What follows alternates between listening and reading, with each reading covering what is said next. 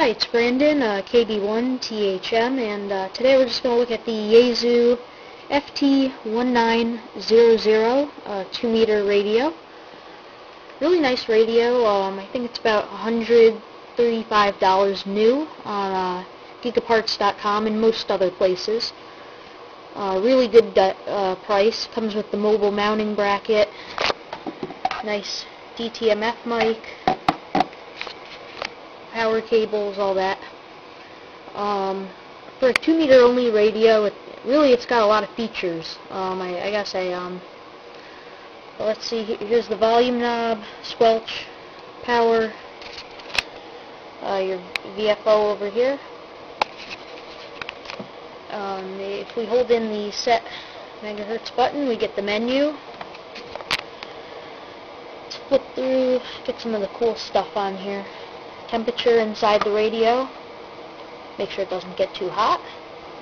I haven't been using it for a while, pretty low. Weather alert. Let's see. It's got the ARTS, Yaesu ARTS uh, re signal reporting system. Not too sure what that is. Reports your signal quality or something. Uh, beep, bell, uh, it, has a CWID feature. You can shut it off if you want to. I, I don't use it. But um, it'll basically, you put your call sign into the radio and it'll, um, every 10 minutes ID for you in uh, Morse code. So that's, uh, that's convenient. CW training. If you're trying to learn Morse code, this is kind of nice. I've used it a few times. You uh, hit the, here, 24 words a minute. I'll hit here. Uh, alphanumeric uh, letters. Um, just just numbers. Uh, I don't know. Um, then you basically just hit this, and it'll just start uh, rattling off random letters and numbers. So.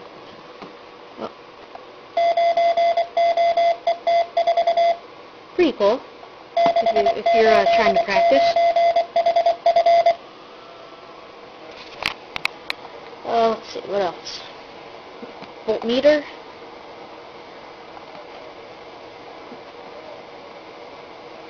Dimmer.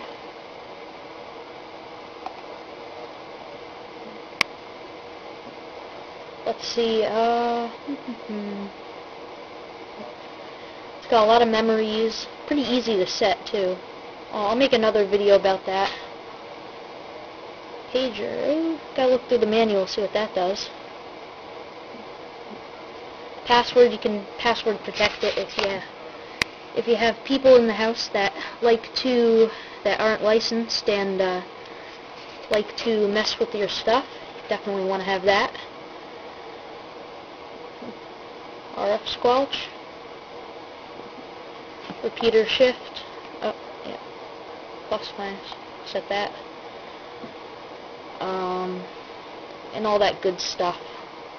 Let's go back to the VFO. We're in memory mode now. Should be VFO mode.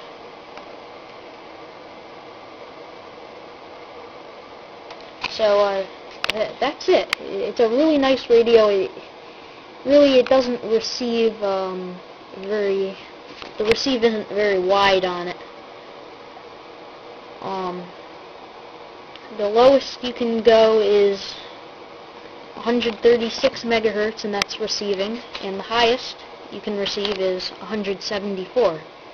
So you can receive, um, you know, a lot of a lot of stuff, but really not a wideband receiver like the um, FT8100, which I'll make another video on.